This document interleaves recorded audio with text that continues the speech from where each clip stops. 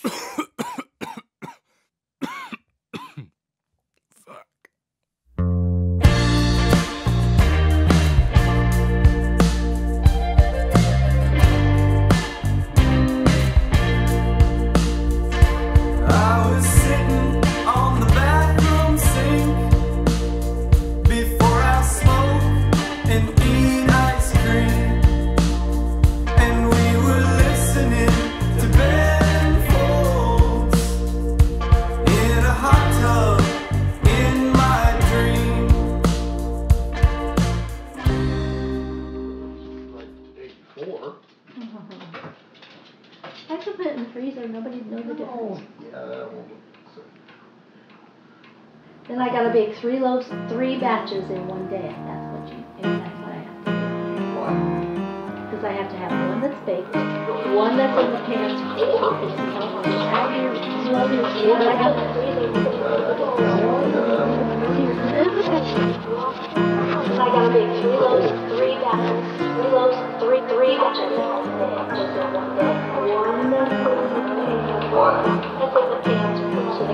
I